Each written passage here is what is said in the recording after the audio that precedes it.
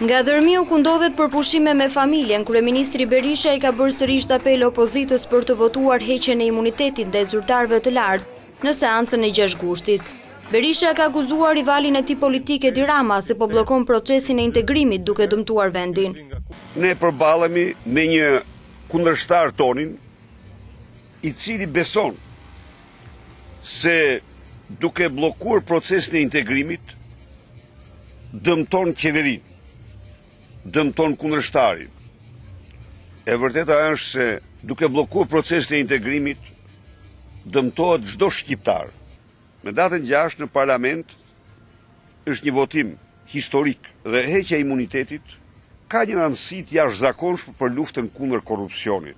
Shefi i ekzekutivit ka deklaruar se opozita do të marrë përgjigje nga votuesit në vitin dy mijë e trembëdhjetë për qëndrimet bllokuese.